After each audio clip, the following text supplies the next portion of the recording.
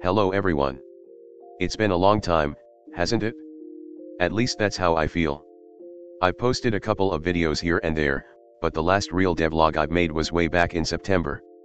That's a lot of time for a lot of things to happen, but work on the project progressed as usual so the game is still alive and healthy if you're wondering.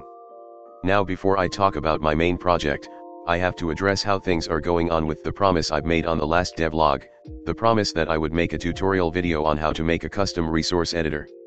That's still progressing along with the main project as well, but I'll be honest with you guys, I haven't made as much progress with the tutorial as compared to things that I've done with my main project.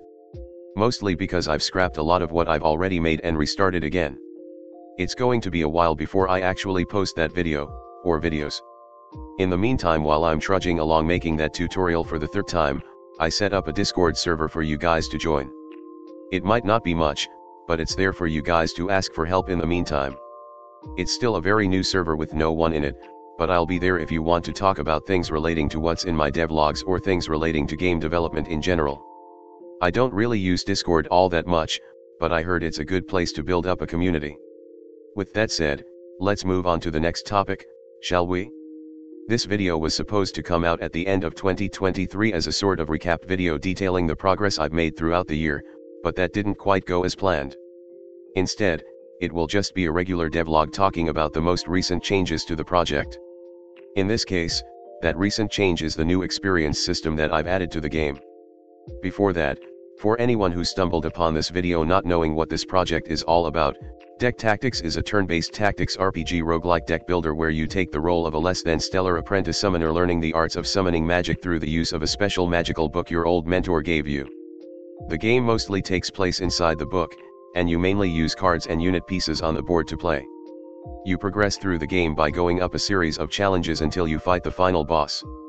The main audience for my games are for those who like tactics RPG games but also found the joy of roguelike deck builders. Both of the two genres are similar enough where you are rewarded for thinking things through, so I'm sure it's a good match for a genre mashup. Now that we've know what deck tactics is, let's move on and talk about the most recent big change, the addition of the experience system. The experience system in most games exist, usually, to reward the player for their time playing the game. My game isn't any different. The player, champion, units, and cards all have their own independent level and they level up once they get enough experience after a battle. The amount of experience gain is based on the level of the enemy they are facing and how much enemy is defeated. Multiple stronger enemies will yield far greater experience than fighting one weak enemy. However, units will only gain experience whenever they are played from the player's hand, while cards will only gain experience alongside the units they are a part of, so when a unit gain experience, that also mean their cards also gain experience.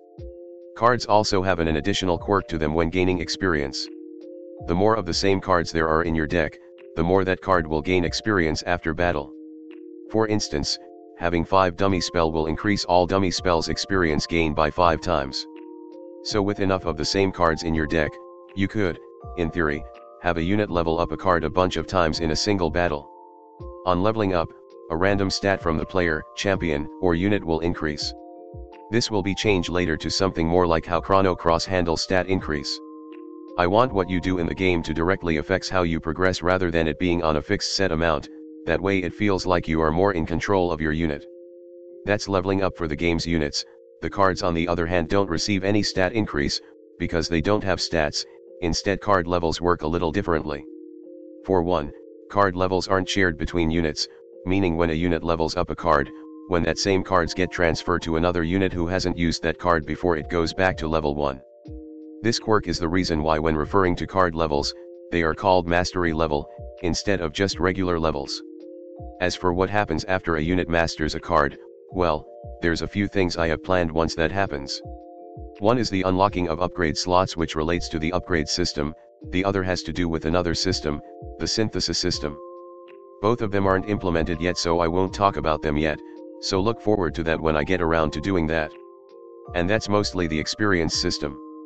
If you're wondering why my game needs an experience system in the first place, well, that's because they're fun, and also since I've given liberty to the player to construct their units deck a whole lot of issues came up in the process.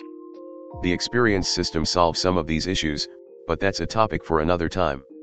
The video has gone long enough by this point. And, That's it then. We have reached the end of the video. Thank you for listening if you happen to stay until this far. The channel has been growing slowly, but growing nonetheless. I'm grateful that you guys tune in every once in a while even if just a little bit.